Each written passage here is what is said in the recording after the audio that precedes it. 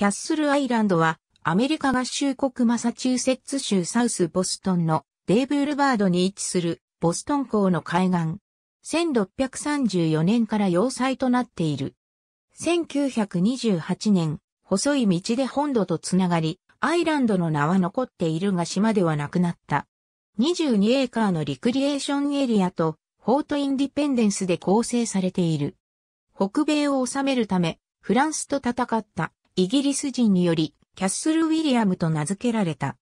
この要塞に囚われたもので最も有名なのは、試略船に乗っていたピエール・メイジナット・ディ・バティストである。1797年、要塞はフォート・インディペンデンスと改名され、イギリス領を着たアメリカで最古の要塞の一つである。18世紀後期、マサチューセッツ州初の州刑務所として使用された。1833年から1851年、8代目として現在の建物が建てられた。アメリカ合衆国国家歴史登録財に認定されている。アメリカ独立戦争開戦直後のボストン包囲戦の間、キャッスル・ウィリアムはイギリス軍の主要基地となった。マサチューセッツ陣営の中心人物たちは家族と共にイギリス支持者あるいはトーリー党としてそこに避難していた。革命時、マーシュフィールドのイギリス支持者、ペルハム・ウィンスロー少佐は、キャッスル・ウィリアム司令官となった。1776年3月17日の撤収の日から数日後の3月20日、キャッスル・ウィリアムは取り壊された。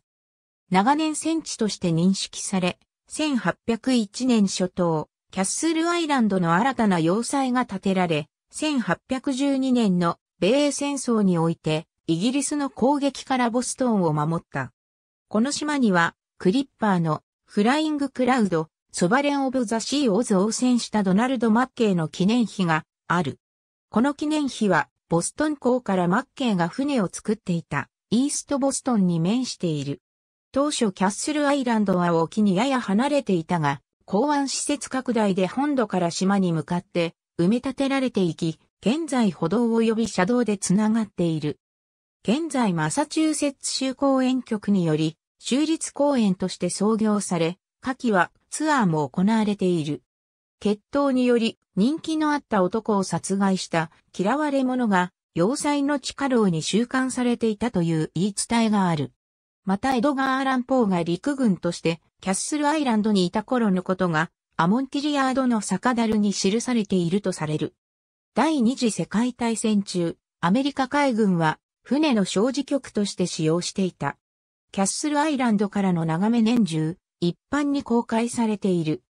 5月最終月曜の戦没将兵追悼記念日の週末から9月第1月曜のレーバーデーの週末までの12時から15時半、一般にガイドツアーが行われている。6月から8月の木曜19時から日没まで城壁を歩くことが許可されている。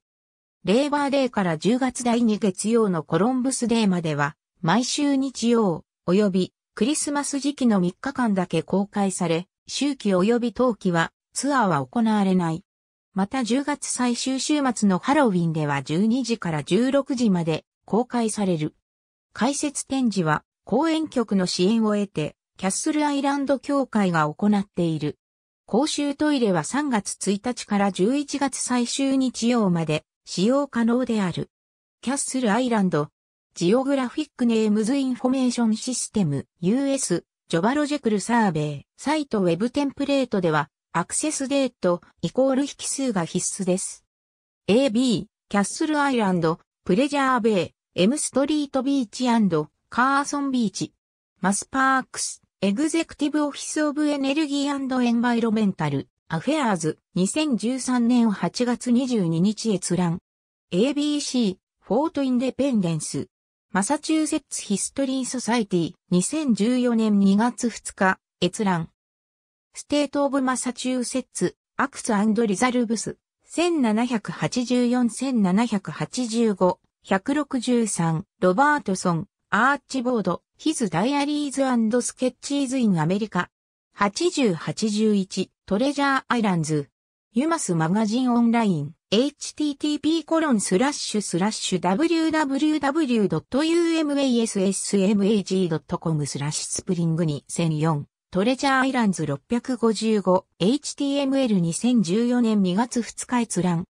フォートインデペンデンスオンキャッスルアイランドサウスボストン MA キャッスルアイランドアソシエーション2014年2月2日閲覧ありがとうございます。